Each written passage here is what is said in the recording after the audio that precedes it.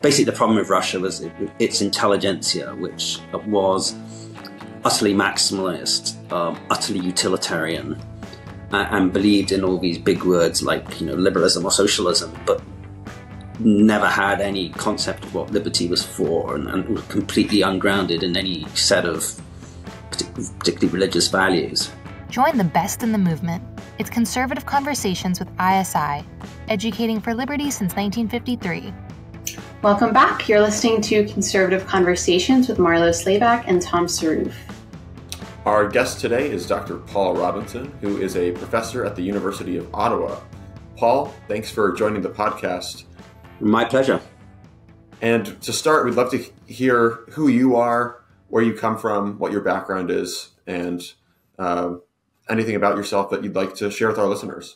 Yeah, I teach in the Graduate School of Public and International Affairs at the University of Ottawa. My, my speciality is um, primarily Russian and Soviet history, but I've also written on, on defense policy, defense ethics, and, and so on. I was many eons ago was a, an officer in the British Army and then um, went into academia um, and have written um, a bunch of books on uh, Russian Soviet history, and more most recently on um, intellectual history. So that's uh, a book, Russian Conservatism.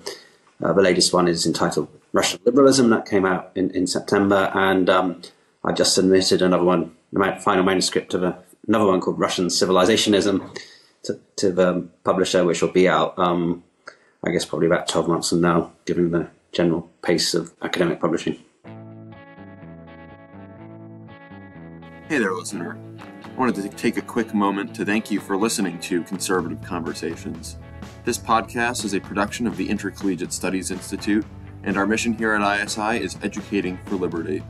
If you'd like to join us in fulfilling our mission, consider helping us by rating and reviewing this podcast on Apple Podcasts, Spotify, wherever you listen, to help us reach more listeners like yourself. Now, back to the show. Well, excellent. And our listener question for you, Paul, is since you are maybe if originally not originally from Canada, but live and teach in Canada now, um, even though your specialty is in Russian conservatism, our listener wants to know what you think of the state of conservatism is in Canada currently.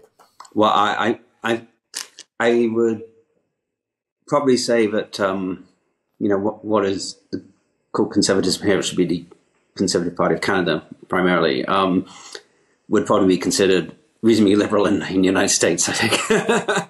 I think that the, the general, um, you know, to be a conservative is, is very situational, right? So it, um, it what you're trying to conserve or, um, would vary from society to society. So um, a a Canadian conservatism is probably more liberal or progressive than, than an American one. We you know, until a few years back, even had a progressive Conservative Party of Canada. So that gives you an idea of things, things where things relatively stand. You know, people think the current leader of the Conservative Party, Pierre Poilievre, is, is super scary, but I don't think he would, would be considered bad in the United States. And so perhaps uh, to shift to the, the meat of our, our discussion um, is a subject that you dedicated, sounds like, most of your life's professional work to. Um, and we recently actually had the centenary of Lenin's death. I think this was a few weeks ago. So we're recording on February 1st right now. Um, but uh, obviously, Lenin was a leader who ushered in a near century of political terror, uh, famine, poverty, um, and other horrors that uh, would follow the Bolshevik seizure of power in the early 20th century Russia. So I'm glad you can join us um, today for that timely reason, but also because probably the best book that I read um, in 2023 was um, A People's Tragedy by Orlando. I, am actually not sure how to pronounce his last name. Um, Figus, Figus, um, the it, you might be able to pronounce it. I, I, haven't been able to find the correct pronunciation, but um, it was before that I, I, read that book, which is a tome. You know, it's probably 900 or so pages. Um, I hadn't really understood the full historical climate, so um, you know, like the seemingly complacent attitude of, of Tsar Nicholas um, in the in the late 19th century, early 20th century, and that that you know that whole um, that that that attitude towards leadership that imperial Russia had was, I think, what eventually seemed to have led to the rise of someone like Lenin. So for conservatives, especially, you know, obviously me and Tom are American, we're reporting from the US. Um, the rise of the Soviet Union as a world power and the, the prospect of global communism was the condition that Cold War conservatism, especially in the US, um, really seemed to take root and became its own movement. And so understanding this period uh, is really fundamental for us, um, especially, you know, working at ISI, we um, so, sometimes we, we actually run into, um, you know, like someone like George Nash who uh, anthologized the the American conservatism from 1945 on, and it does take on that character of uh, some of the you know Soviet reactionaries, but also some of these um, pre you know used to be communist, post communist um, uh, thinkers who um, you know eventually defected from their old beliefs. But um, understanding this period is really fundamental for us, um, not just as Americans, but I think for conservatives especially. So maybe you could begin by framing this late 19th century, early 20th century period um, in imperial Russia and what was reaching a boiling, boiling point at this moment in time that set the stage for someone like Lenin. Yeah, um, I'll just go a little diversion first because, you know, I think you correctly say that um, American conservatism in the 20th century, you know, was was strongly based on anti-communism. Because a, a modern day Russian conservatism would not be, because a modern day Russian conservatism would um, see positive things in the Soviet Union and wish to to conserve votes. So therefore, you, you have an immediate distinction between what an American conservative would believe and what a, what a Russian conservative would believe, at least now. As, as for your your question, um,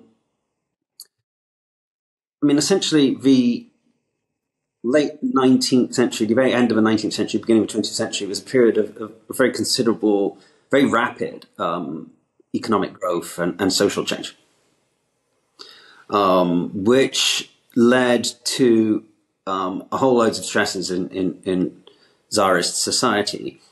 And um, different elements of that society had essentially different solutions to, to the stresses. So the revolutionaries thought, in essence, that you should exploit the stresses to um, inaugurate a new order. Liberals thought you should um, adapt the model of Russian um, government to sort of copy the West, essentially. I mean, that, that's the sort of models they, they had in mind, Western European liberal democracy as it was in around 1900, which is, of course, not, not quite the same as today. Um, conservatives, by contrast, were, were not you know, when they weren't for the most part against, you know, economic progress, um, industrialization and so on, but they, they did believe that this needed a very steady hand, you might say. Um, and that the, the strong hand of the state was needed to, to maintain control in, in this period of stress and, and that you needed to um, move forward in a way which was congruent with, um, let's say, existing um, existing traditions. So you you needed to maintain loyalty to the state and to the czar. You needed to maintain orthodoxy as a, some sort of glue which which held Russian society together. And you should you know um,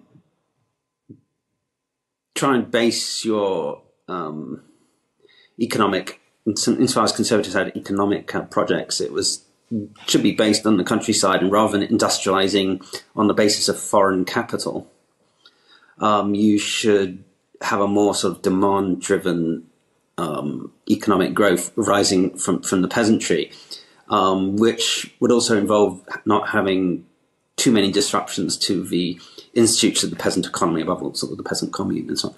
There, there were differences, though. I mean, obviously, different people had had, had different attitudes, and, and you, you do get um, you know, a statist liberal conservatism arising just before the revolution, associated with people like Prime Minister Stolypin, who who um, essentially um, sought to modernize the state, but have the state take the lead in, in, in doing this. But I think that sort of gives you a very sort of broad sketch of the situation as, as it then was and, and what perhaps differentiated conservatives from others. But you should, you should bear in mind, um, of course, that in, in the Russian context, which is conservatism at the time, as it still is today, would be associated to a certain degree with um, if not anti-Westernism, then at least um, the concept that um, the solution doesn't rely on um, the solution to society's problems doesn't rely on just copying models from Western Europe or, or North America. So that in in 1900, say, the solution doesn't lie in taking, you know, German communism, Marxism, or or in taking, you know, British or North American liberalism and, and plonking them down on Russian society, but rather the, the solution lies in existing Russian institutions, or at least in, in gradual evolution from that basis. Uh, and therefore, you, you, to be a conservative back then and as, as well as back now um, does tend to mean, if, if, if not anti-Westernism, and at least it, it is contrasted to Westernization, um, which is more commonly associated with, with liberals and radicals. I want to delve a little bit more on the sort of modernization or westernization theme or tension because I know in Russian history there's various poles between more pro-westernizing forces and some of these anti these more uh, maybe you'd say just Russifying, just maintaining the uh, strong Russian identity of Russia as opposed to moving with the rest of Europe, and that's something that we see very strongly. I think right now, not just because of the war, but even sort of there's you have the NATO even before the invasion of Ukraine, you have the NATO bloc that represents Western Europe broadly, and then you have Russia's a little bit on its own. But I mean, in the history of Europe, Russia is a major European power, um, and they are part of the history and the culture of Europe in some senses. So I'd love to hear more about what differentiates Russia from the rest of Europe, um, and where how it finds itself historically as well as today. If you if that's uh, if you think that's relevant in your answer. Well, I mean, it, it's it's it's a question that, of course, Russian conservatives have had to deal with because if they say we shouldn't sort of blindly copy Western models, then they have to have some idea of what, what the alternative is, and therefore what, what it is that differentiates um, Russia from the West. And the first people really to um, philosophize this in a sophisticated manner were the, the Slavophiles, which was a fairly small group of philosophers operating in, in the 1840s um, and, and, onwards. Um, and um, essentially, you could say that the, the, root is in orthodoxy. So the, the difference between Russia and um, what they would call the um, Germano-Roman world is that um, that had its um, Germano-Roman culture originated in Catholicism, whereas um, Russian culture originated in in Orthodoxy, um, which, at least certainly according to, to Slavophile thought, meant that rationalism came to play much larger role in Western society because the early Catholic Church um, essentially fused what might call pagan reason, you know, Aristotle and so on, with, with uh, Christianity, whereas the Orthodox Church, the Slavophiles argued, you know, ne- never did this. Uh, and that therefore, um, according to Slavophile theory, um, Russia um, retained a more spiritual outlook, right? Western philosophy became one-sided. That's to say, it was it became overly rationalistic, materialistic, um, and um, whereas uh, Russian philosophy retained um, it, it, didn't abandon reason, but it it, it uh, retained um, faith and tradition and and, and so on um, as well. Uh, and the Slavophiles also came up with this idea of sobornost, which is a sort of untranslatable word, which um, is really a sort of collective consensus. It's where, where a society operates according to uh, a freely agreed consensus, which is made possible by some sort of common value system, namely primarily orthodoxy, and that this is embodied, they argued, in, in the peasant commune, but more broadly in, in, in Russian society. And these sort of ideas have, um, you know, since, since spread and become, you know, fairly, fairly commonplace in an argument that um, basically, and this, this, has been a very common argument from the 1840s onwards right up to today, that Western society is, is rationalistic, individualistic, materialistic, whereas Russian society has, has um, a different spirit. It's, it's more collectivist, it's more, operates more according to tradition and, and, and faith. Um, it has um, um, a greater sense of, of what philosopher Solovyov called you or unity, but of the of, of the unity of everything man and God, man and earth, faith and reason, um, and therefore a wholeness of spirit, uh, and all unity which the West is allegedly lacking. So really, the the um, distinguishing feature of Russia is is said to be spiritual rather than material. I think essentially. If I could get a quick follow up in as well.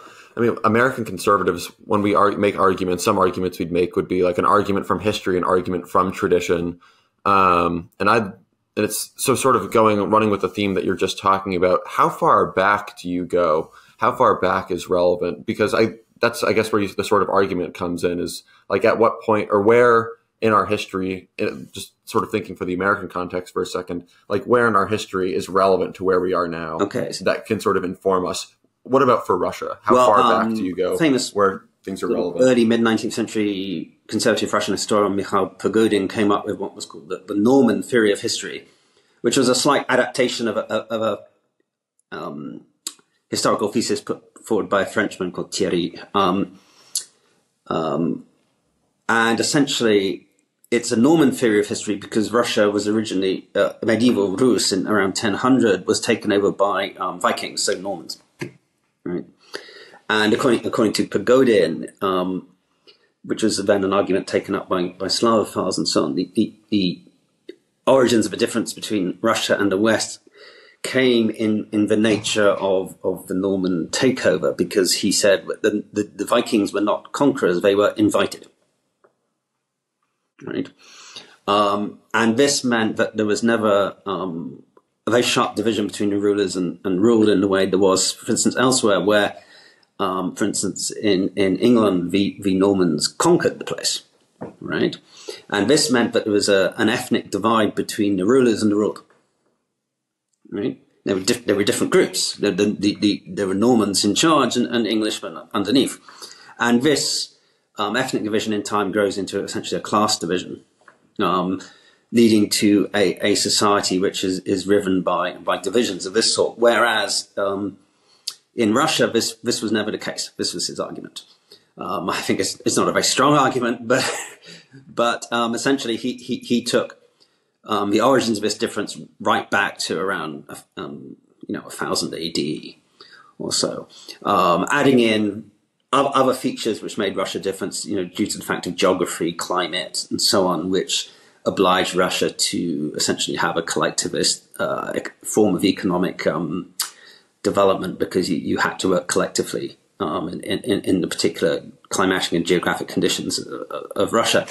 Um, but you, you, can, if you want, take this back a very long time. And, and, and it's not just Russian conservatives who've done this. Um, Western historians who are critical of Russia have sometimes done this too. So Richard Pipes, for instance, um, in, in, his works, um, similarly, like drew drew lessons about the difference of Russia dating back to, to the the arrival of, of, of the Vikings um, and saying that, you know, they were just different from the beginning and, and, and they're not like us. So um, I'm not sure it's desperately good argumentation, but that's that's where that's how far back people do take it. Gotcha. And of course, even you can go back to um, the schism between the um, Catholic and Orthodox churches as well as another another key turning point. And another key turning point would be uh, 900 and whenever it was, when um, uh, the uh, Prince Vladimir of Kiev adopted orthodoxy. So that's seen as a decisive point at which the Russia's rulers decided to adopt the Byzantine model, not the uh, Catholic model. On the, the point of Slavophilia, um, especially conservatives, when we're framing our thinking about the Russian Revolution is um, obviously the seminal text by Edmund Burke, the reflections on the French Revolution. And obviously, the, the French Revolution seemed to be a huge influence in the Russian Revolution. Um, I mean, there was, it, at least my reading of it was, um, there was a Slavophilia among many Russians at the time, um, but there was also Francophilia, it seemed, among some of the revolution minded. And um, perhaps they wanted a model themselves off of the French Jacobins, and um, while trying to avoid the the um, the failure of the Paris Commune, which was in more recent memory. Um, but a lot of them seem to spend so much time in exile um, outside of Russia itself, some in um, in Paris, and uh, it seemed like what were or what were the ways that the French ideals of the revolution were perhaps an influence or inspiration for the Bolsheviks and even the Russian intelligentsia, which, if I remember correctly, um, not all were on board with um, the more radical-minded, uh, you know, Russian revolutionaries, um, the Bolsheviks, and it seemed like uh, the Russian iteration of the revolution, even though they did draw inspiration from um, the the French, you know, the the Jacobins, it ended up being um, a lot more gruesome and savage. And I recall reading um, uh, some letters that I think Maxim Gorky was writing, um, and he was, it seemed, more aligned with kind of the, the socialist Russian intelligentsia, just reflecting on the, the brutality that ended up being the revolution. So, what are the parallels between these two historical events? Um, well, Russian revolutionaries um, looked very closely at the French Revolution and again, as you mentioned, the Paris Commune. And um, primarily, they, they, were concerned with um, what went wrong and trying to avoid the same things going wrong again, which is kind of ironic, actually, um, in that, um, you know, they were, you know, deeply concerned with, you know, Bonapartism uh, and how um, the revolution would be um, would descend, would eat its own and, and descend into violence and then be usurped by a dictator. Um, which was one reason they, they got rid of Trotsky because they, they regarded him as, as um, being, you know, likely Bonaparte. And, um, and they thought that Stalin was a relatively safe, safer pair of hands. And of course, it, did, didn't, it didn't work out that way. Um, so it's kind of ironic that they were, you know, continually referring to the French Revolution and, and, and um, the things which had gone wrong and how, how they needed to avoid it. But in the end, they kind of succumbed um, to the same, you know, you might say, inevitable revolutionary logic. Um, on the whole, um, I, I, I, tend to think that um, probably German philosophy has tended to be had a stronger influence on, on, on Russian thinking, both both radicals and conservatives, probably even than French philosophy. Um, so um, you know, the conservatives were strongly influenced by German Romanticism, um, while of course radicals were, strongly influenced by, by Hegel, um, as as were Russian liberals too. Russian liberals in the 19th century very strongly influenced by Hegel. Um, so names like you know Herder, Schelling, Marx, Hegel, these these tend to be um, uh, higher up on the reading list, perhaps than, French, certainly English philosophy. I mean, um, one doesn't see an awful lot of references to, to Burke, for instance, even though perhaps, you know, Russian conservatives end up taking rather similar attitude, but it's, it's not, it's not top on the reading list. What about uh, the state of Russian philosophy at the time? Who are some of the big names, or is it more the Russian philosophers are in large part working on or focusing on what's going on in Germany, which is not un, not unlike what's happening what, what, was happening in the time in America in some places. Um, well, I mean, obviously, the, the Slavophiles of the 1840s, 50s, people like Khomyakov, Kireevsky, uh, um, Konstantin Aksakov are um, very influential. Um, and then um, in the um,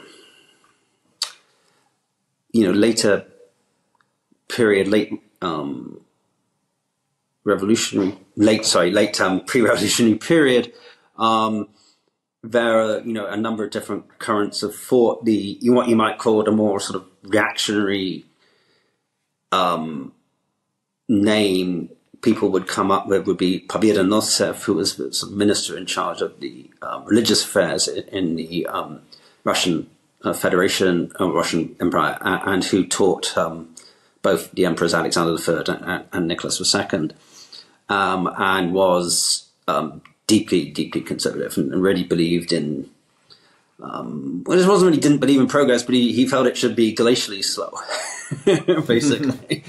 um, and um, then there's what you might call the, the liberal conservatives, who particularly um, this would be like silver age, as it's called in Russia. So these sometimes get lumped in as liberals, sometimes as conservatives. They they often began as um, well, some of them began as Marxists and then, then became liberals and then became conservatives. So people like Sergei Bulgakov, um, who who was originally a Marxist economist and then a liberal member of parliament and then a um, finally became a, a conservative theologian in exile, and similarly, uh, people like Nikolai Berdyaev or Pyotr Struve. These, these are the sort of um, liberal conservative strand, famously associated with a, a, book called Vekhi, which came out in 1909 and was a, a vituperative attack on the intelligentsia and, saying that you know the problem with Russian, basically the problem with Russia was it, its intelligentsia, which was utterly maximalist, um, utterly utilitarian, uh, and believed in all these big words like you know liberalism or socialism, but never had any concept of what liberty was for and, and was completely ungrounded in any set of particularly religious values. Um, so it was those, those, sort of people. Um, a little earlier, there are also um, journalists such as Mikhail Katkov, um, who would be the sort of nationalist strand, sort of Russia for the Russians type person, who um, again began began as a liberal, and then following the, the Polish revolt of 1863, became very nationalist and, and decided that uh, basically in, in the modern era, um, a a nation needed to have well needed to be like ethnically, religiously, culturally unified. Um, and that therefore, you know, Russia needed to purge itself of, of, of foreign elements to certain degree, and, and Russified Baltic states and, and Poland and, and, so on and so forth. So those are the sort of various different trends you might have um, within conservative thought. I mean, very, I'd say, very, very roughly speaking. Uh, and you mentioned the Russian intelligentsia. Where does Marx come into play? Um, we also were, you know, talking about some of the German philosophers because it seemed like Lenin wasn't orchestrating this ideologically pure read of Marx, even though I think maybe a reductivist view would say, you know, someone who hasn't quite Marxist Leninism just seems like its own beast. And um, wh- whereas I think my reading was that he viewed Marx, the you know the purely Marxist read as being more passive, whereas um, you know he was prioritizing this revolutionary vanguard um, so, how much was Marx actually influential to the Bolsheviks? Um, I, he certainly was, but was this more of a, a catalyst? Was it um, to get things kind of brewing, or um, is there are there common misperceptions about that influence? Um, well, and Marxism arose quite reasonably late in, in, in Russia, so it's not really till the 1880s and 90s you, you begin to get people calling themselves um, Marxists, um, more popular until then was, was what was called populism, which um, really looked at sort of the peasantry um, as being the um, the source of revolution in Russia. Um, and there was some logic for that, in that there wasn't really much of a, an urban working class until until that time. Um, and and what Marx gives uh, Russian revolutionaries um, is this philosophy of dialectical historical and dialectical materialism, which tells you that you know this is inevitable, basically, but that history is on your side, and and this will happen. Um, and this uh, philosophy of historical and dialectical materialism is, is utterly fundamental to um, Soviet ideology. So in, in 1937, when um, I think it's 37, sometime around then, when when um, the Communist Party is is writing a, a history of, of, of, the Communist Party um, for, for, schools and universities and so on. Um, and this is mainly done by committee, but but Stalin himself writes the chapter on historical and dialectical materialism because this is this is so important that you know this is not this is not something which can be can be left of a committee. Um, because it, it is it is the, the core, in essence, of, of, of the legitimacy of the regime. Um, um, in later Soviet periods, the strictly Marxist understanding of, of, of um, history begins to get a little diluted in, in, that so Marx said there were a certain number of social formations, the final which one of one of which was, was communism.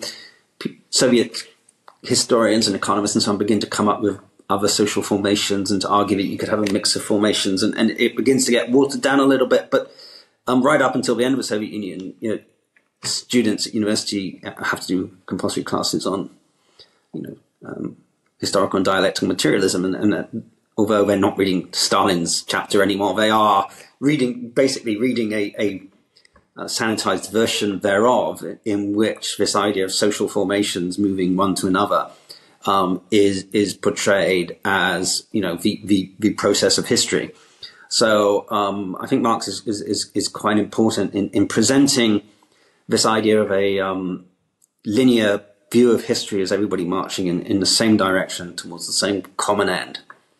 Um, yeah, one of my favorite books is Charles Malik's uh, Man and the Struggle for Peace. And it's a book about the United Nations, but one of the things, and he's writing this in the 1960s, early 1960s, after he had just, I think, finished his uh, stint as the Secretary General of the UN. And one of the sort of vignettes he points out in the book is when Kennedy met with Khrushchev. Um, that might have been 61, I think. Um, and he was so struck, Kennedy was, by how self assured that Khrushchev was because Khrushchev just believed that his way was inevitable and it was going to take over the world. Um, so I'd love to hear more a little bit about Russia's relationship with the rest of the world in its communist phase. Um, because you were mentioning earlier, there's a sort of nationalist strain of Russia for Russia's the for Russia for Russians and Russia for itself. Um, but then there's also this part of the the Marxist Leninist Stalinist model, and Lenin, I think either during or after the uh, the civil war in Russia, marches an army through Poland or tries to march through Poland to Germany, um, and I think Poland's able to to beat them back. But um, so there's this sort of globalist, um, universal strain in uh, the as part of their as part of the historicism that this is going to take over the entire world and usher in a global utopia of some sort. Um, so what's the? I guess I'm losing. Yeah, well, question, I mean, I mean, but, initially the, the, communists in, in after the revolution had a little bit of a problem in that um, the revolution is meant to come according to, strictly speaking, according to Marxist theory, where the contradictions in capitalist society are greatest, which implies where you know um, capitalism is most developed, which it wasn't in Russia, and therefore um, there were concerns that um, communism could not survive in Russia, and therefore the only way it could survive was by being exported, by sparking global revolution. And this was this is certainly the idea um, promoted by, by Trotsky. But but following the, the failure of the invasion of Poland, it, it becomes obvious this, this isn't going to happen. The revolution is not going to take place in Germany. Um, and so Stalin comes up with the idea of socialism in one country. And from this point on, for, for at least until the end of Stalin's life, um, you have a more, you might say, nationalist, inward-looking turn. And um, Stalin gets his fingers burnt when he does try and meddle with world revolution in, in, in China, when um, Chiang Kai-shek turns the, turns his back on, on, on the Communist Party and routs him in, I think, 1931 or something thereabouts. I can't remember exactly. But, but um, and that doesn't end very well, and, and, and it, it it um, confirms Stalin's belief that you really shouldn't have any dealings with um, non-communist states because they are not, even if they claim to be progressive, they will stab you in the back sooner or later. Um, this then changes under Khrushchev because you, you, you arrive in, in, the era of, of decolonization, and suddenly there's a whole load of um, newly independent states. And I guess if you're going strictly according to capitalist theory, they, they need to progress through the capitalist stage before they could become communists because they're, obviously not yet capitalists. Um, but that's not, from a point of view of foreign policy, very desirable because that would then put them in, in the capitalist camp and become allies of, of the United States. So theory gets modified a little bit, and, and suddenly you, you get ideas of a non-capitalist um, path of development, which um, original Russian communists such as Georgy Plekhanov had said was impossible. Um, but now you get the idea that national um, national governments, you know, in places like Egypt, um, by nationalizing um, industry and by um, forcing industrial development from the top down, can in effect create proletariat and, and, and then create the path for eventual socialist development without passing through the capitalist stage. Um, and this then gives you a um, some legitimate, legitimate legitimation, whatever the word, um, some legitimate reason for engaging um, in alliances with these states. Um, so essentially, the, the, theory is modified to allow um, alliances with, with, with the third world, and the Soviet Union takes on the mantra of being the anti-colonial power.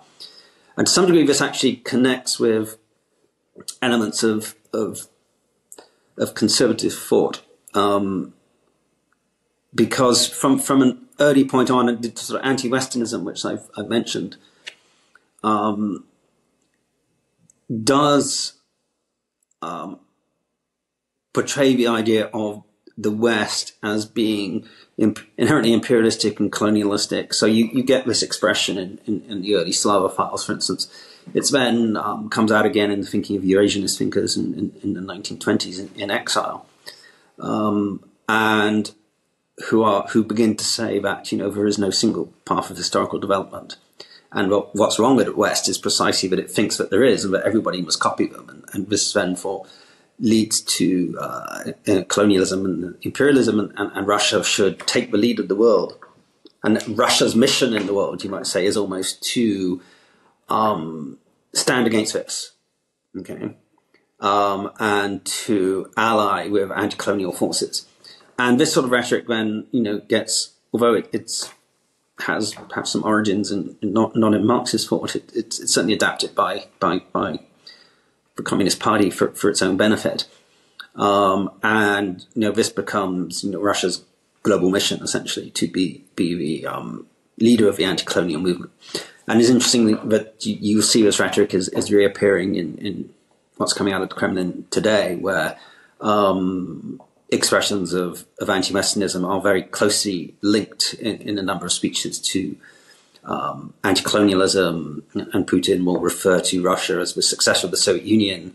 Will mention that the Soviet Union was the leader of the anti-colonial movement, and, and these are, these sort of things come out in, in speeches given to um, meetings at meetings of African leaders or representative from uh, you know various uh, third world countries and so on, um, in which Russia um, portrays itself as you know um, enabling the oppressed countries of the world to stand up against uh, Western imperialism. So this is probably a loaded question, but how does the Soviet period and revolution influence the Russian identity today? Is there like in what way do people reflect on the Soviet era, especially? Is there this sense of like you were just describing the the do people buy into the idea that the Soviet Union was more or less like this protagonist of history, or has that crumbled, or was that more a um, like a top down thing where that was exclusive to you know people who were full on you know partisans? Um, the relationship with the Soviet past is is, is quite complex. Um, you know, most people don't want to go back to the Soviet Union, and I think there's a, a strong recognition that the Soviet economic model failed. Um, and also there, there is a you know there is a recognition that um, all sorts of crimes were, were committed, um, particularly in, in, in, the Stalin era. Um, and, and, you have you know um, many monuments in Russia which have been, been put up at, um, to commemorate victims of Stalinism and so on. and they built a big um, monastery, a Sretensky monastery in, in, downtown Moscow, which is which is dedicated to the um, what they call the new martyrs, which is the, the, Christians who were who were killed by the by the communist regime. Um, on the other hand, there's also a recognition that you know the Soviet Union wasn't all bad. That Soviet Union had many achievements to its name. It, it, it won the Second World War. Um, it uh, put the first people in space. That um, living standards um, of ordinary Russians, at least after the Second World War, did did substantially increase. Uh, um, that the Soviet Union did um, yeah, educate the Russian population. Um, that there were great scientific achievements by, by Soviet scientists, and so on and so forth. So people recognize these, and they don't want to sort of throw the baby out with the bathwater. So um, essentially, what goes on is, is an attempt to meld all sorts of bits of history together. So you, t- you take what you think can be the positive bits of imperial history and then you, you meld them together with what you think can be the positive bits of Soviet history, and, and you try and then create some sort of uh, synthesis. Um, so you, you can have orthodoxy and Stalin together, and I've even seen icons of, of Stalin, right? You know, and, and, and this may seem kind of bizarre to us, but but but um, it, it, it would it makes sense um, certainly certainly to them. Um, there are there are some among the sort of liberal intelligentsia who want to completely decommunize and say you should get rid of everything communist and, and, and rename all the streets and tear down the Lenin statues and, and just tell everybody that communism is bad, bad, bad. But that that is not, I think, a position which is acceptable to the vast majority of the population, who, who's many of whose experience, particularly older generations, would, would, would say, well, come on, you know, um, things weren't that bad or whatever. So I was um, took some students to, to Moscow a few years back, and, and we were in the, the State Duma, the parliament, and it happened to coincide with a, um, a sort of exhibition devoted to a new museum, a museum of Soviet life. And um, you know, one of the speakers there said, "Well, you know, look, we, this isn't nostalgia, but we were young then, and we were happy." you know, back in the seventies or whatever. You know, I was young, I was happy. You know, it, it, it, I, I, don't think of it as so bad, right? Um, and trying to tell people they should think of it as all bad is, isn't isn't really going to work. So the um, I'd say relationship is a complex one, um, uh, and it involves trying to take what was good out of that era and meld it with what's considered good about other eras. So, as a conservative, I have to ask: Is there any affection among your average Russian for the Romanovs? I mean, is there are they viewed as um, like is the obviously there were. Uh, abuses and you know it was autocracy, but um, the Bolsheviks seem to have done a pretty effective job of framing them as such. But they were also the Romanovs were brutally murdered. Is there any sense of affection for them? Um, obviously, in the Orthodox Church, perhaps, but uh, among your average Russian, is that something that they have a you know the same sort of um, feeling of endearment like they would towards maybe their you know younger years in the Soviet Union? Um, I mean, a monarchism is is is very. I mean, monarchism per se is, is very much a minority viewpoint. Um, it is strong in, in, in the in, in, the Orthodox Church, for sure, and, and the Orthodox Church has, has canonized the last Tsar and so on. So, um, for the average Russian, um, well, you probably have to ask them, but it, it's, I'd say it's probably just somewhat indifference. I mean, it, it, it, it was long ago. It, it, was, you know, was that last Tsar was, you know, he wasn't a bad man in the way the I imagine most people would regard him as a bad man in the way the communists told them, right? Um, and they would probably regard his, you know, fate as unfortunate. But at the same time, it's not like, wow, I'm a monarchist, you know, whatever. So, so, uh, but you know, it happened. I think would probably be, be, be the attitude towards it. That, that was then, this is now, um, you know, the czars did some good things. They did some bad things. You know, let's, let's, let's, let's take, the, let's take, let's remember the good stuff.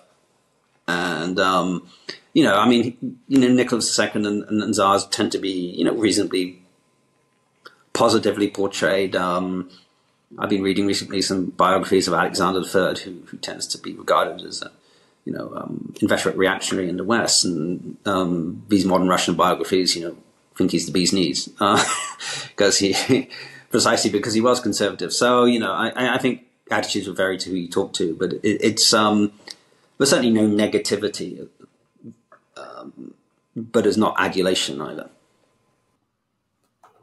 Paul, I'm wondering what you think about how the 90s, this, or in the immediate aftermath of the fall of the Soviet Union, the fall of the Russian Communist government, um, the the Yeltsin government sort of shock therapy, various moves towards perhaps westernization or liberalizing the economy, um, you know, selling off various state assets. I'm wondering what you think that does to Russian society in general, but also what that does to Russian conservatism um, in this maybe more liberal pro-Western moment in the right in the aftermath of the defeat of communism?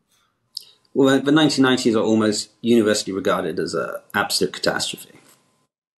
Um, one one could argue that this is, you know, perhaps unfair, but there were some some some achievements, and the, the later economic prosperity, relative economic prosperity of Russia, um, owed something to to the reforms which were undertaken in that era, and but it was an era of, of at least you know, some relative freedom of expression and so on. But but most Russians look at it and regard it as an era of of, of humiliation, of, of um, enormous um, social degradation, of, of, mass poverty, hyperinflation, um, as an era of um, enormous uh, crime, of um, social problems, so declining um, life expectancy, collapse in social services, alcoholism, increasing drug use, organized crime, um, a corrupt and incompetent government.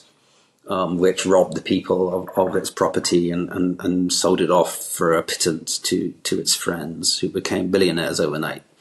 Um, and an era in which Russia's interests were um, ignored by pro-Western liberals who ran the show and sold Russia out to the West, one might say. These are the sort of general tropes which exist and I would say are, are accepted by the majority of people in, in Russia.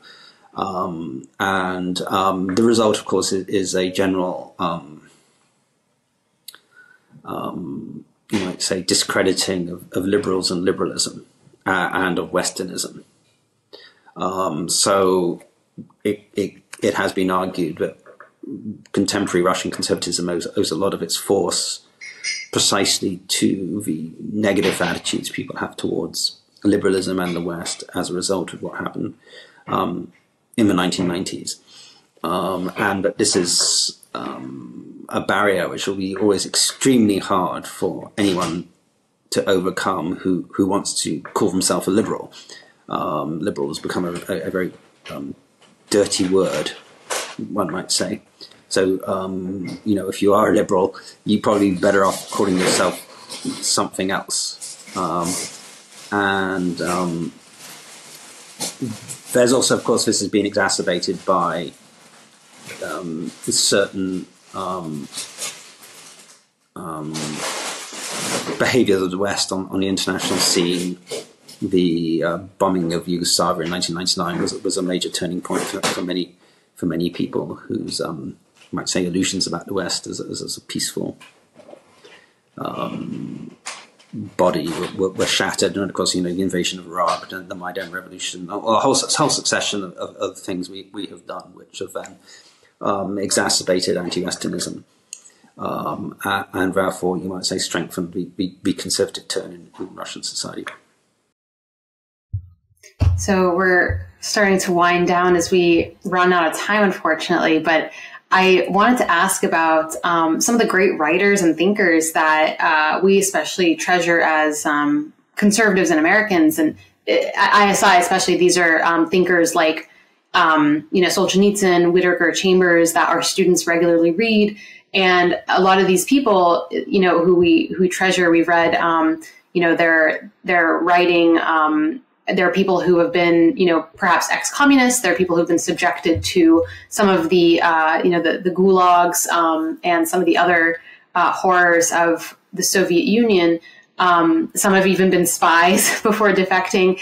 Could you explain this phenomenon of, you know, these um, ex-communists, but also, um, you know, people like Solzhenitsyn who um, were, you know, at one point, uh, you know, in, in Soviet Russia itself, and um, then became kind of part of the mythology of American conservatism in a sense. Um, is there like what was kind of the, um, the, the background for? You don't have to go into specifics of these two writers, but um, there's there's many of them out there that um, have become like staples of um, of our literary canon. Yeah, well, I mean, to be being against the, the Russian state doesn't necessarily make you pro-Western or pro-liberal. One one might be against the Russian state um, for for many reasons, and in fact, you, if you read my book on Russian conservatism, you'll you'll see that in fact, um, conservative philosophy in Russia has often been quite um, not hostile to the state per se, but certainly hostile to state policy, and state because mm. state policy is often seen as modernizing and westernizing. Uh, and you get um, a strong conservative reaction against it, right?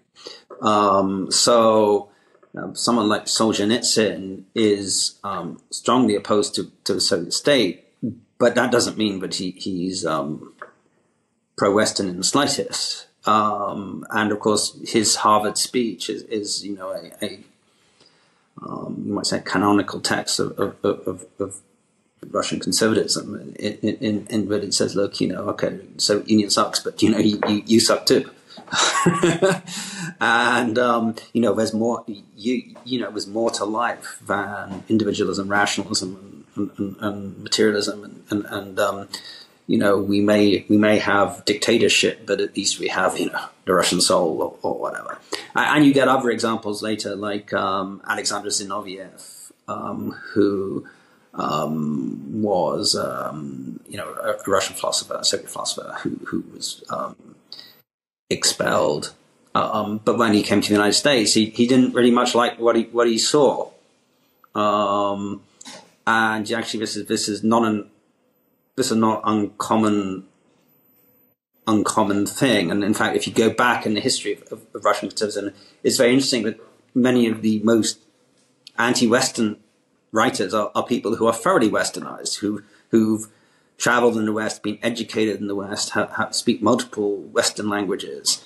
I mentioned Pobedonostsev. I mean, he spoke, I can't remember how many Western languages, always took his holidays in Italy and, and, and so on. And, and the, the, the Slavophiles had been in university in, in Germany and they, you know, they, they, they, were up to their ears in German philosophy. Um, uh, and so on and so forth. Um, you know, Dostoevsky, you know, used to like going gambling in, in Baden-Baden and so on. Um, these are, in many respects, fairly Western people. Um, but nonetheless, they, you know, they always understood the West as being somewhere different. So Russian emigres who were thrown out of the Soviet Union in, in the early 1920s, soon after the revolution, you know, they never felt at home in Western Europe. And they always thought, you know, that they were in an alien society who didn't like them very much. Yeah. Um, and, you know, part of what they, they wrote was a, was a reaction to that. So, um, I think this is this is a long long-standing philosophy, and one also it, it, there's, a, there's a lesson there for, for, for people in the West. Is you shouldn't assume just because people are um, have differences with the, the Russian state that they're going to be your friends. Yeah, Paul, uh, I mean, the Harvard commencement address is not just a standard for Russian conservatism, but also American conservatism, because it sort of dovetails in a very interesting way with thinkers maybe like Richard Weaver or um, I think Kirk probably less so, but, you know, Leo Strauss, and other sort of um, emigre to the United States. But these people were sounding the alarm uh, on the spiritual hollowness of the modern West which I guess gets a little bit papered over in the culture war or in the civilizational clash in the Cold War. Um, but I mean, I, we really have not talked that much about the uh, Ukraine and Russia war. So maybe just as a closing, I'd love to hear what you think about how that how that war has what that I guess that what that bodes for the future of Russia, Russia cons- Russian conservatism, Russia's place in the world stage, Russia's civilizational future. Yeah, so I mean, obviously, a, lot depends on how it, how it ends. I'm, I'm not, I'm not desperately optimistic about it about it ending in a way that will allow any sort of rapprochement between East and West. Um, I mean, one can't say for sure, but the, the, the current, the current sort of trend in military events suggests that it's going to be extremely unlikely that Ukrainians could recapture their, their lost territory and therefore whatever happens at the end of this is likely to see a, a, substantial amount of territory remaining in Russian hands. And this this may not may be accepted in a peace treaty or it may not. And we may have a, like a Korean scenario where, where there's, there's a peace without a peace, you know, without a formal peace treaty, um, which is perhaps looking you know quite a likely scenario. And, and in that case, you know you're going to have decades and decades of tension. And, and, sanctions will remain on Russia for, for a very long time, and, and even cultural exchanges will be minimized. Uh, and the situation now is, is worse than it was during the height of a Cold War, in, in that at least from the mid 50s onwards, you know, we had ongoing cultural exchanges and people going to Russian Soviet universities and them coming over here. And all that has stopped. right? Um, um, and there's been, you know, uh, the amount of contact um, is is to some degree much much less than it was, you know, when I was young in the 1980s was, was a student of the Soviet Union. And and if if the war in Ukraine ends in a way which does not allow for um, rapprochement and it means that there's decades of of, of, of military standoff and fears of a renewal of the conflict, then you could well have a situation in which Russia and the West are isolated from one another for a very, very long time. And in the meantime, the, the world is changing and power is shifting to the east. And the you know Russian Western liberalizing, westernizing concept, which has looked to the West as being the model for emulation and as the inevitable model towards towards which history will move will become harder to sustain simply because um, the West won't be number one anymore, right? And, and and so it'll be harder to maintain this belief that you you have to copy the West, and um, as a result, it it you know it, it could be that you know we're in for um, if not a permanent separation, something which is, is semi-permanent, and, and um, I'm not one of those people who thinks that Russia's you know I don't really buy a lot of talk about Russia's distinctiveness and, and Russia as a separate civilization. But, it, but you know, it, it, it could move in that way if if we are separated for seventy years, or, or eighty years. I mean, um, or even longer. Um, we've seen in the case of like you know. Cuba, the United States can keep sanctions on people for a very, very, very long time, even if it's having zero effect. Um, so there's no particular reason why same policy might not be applied to Russia. And, and, and then um, you know, Russians of, of many generations will be brought up um, yet again on, on a diet of, of anti-Westernism, but in in a world which in which the West is no longer number one, uh, and that could have um, quite significant long-term consequences. Well, it does certainly seem to be where it's headed, at least at the moment. Things could change at you know the drop of a hat, but who knows yeah. what the future holds. Well, Paul, we are out of time. Um, this has been a great episode. I've really enjoyed listening to hear you to tell us about the history of of Russia, the state of conservatism. So thank you so much for being with us. If people want to read your books, see what you're doing on a you know on a more uh, daily basis, where should they look for you? Where can they find you?